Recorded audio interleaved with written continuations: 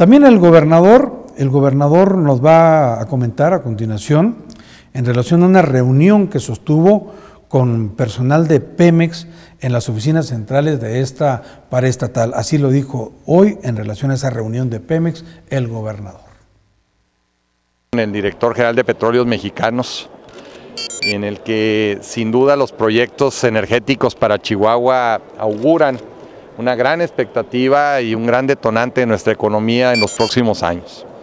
Eh, Chihuahua eh, representa una alternativa real de, de que la reforma energética impulse el crecimiento económico y la oferta de empleo.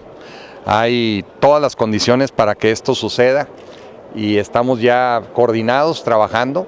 También eh, se ha confirmado y ratificado el arranque de la planta eh, petroquímica de Camargo y que esta estará ya en muy corto plazo funcionando, produciendo fertilizantes para el consumo de nuestro estado y ventas a otros estados de la República.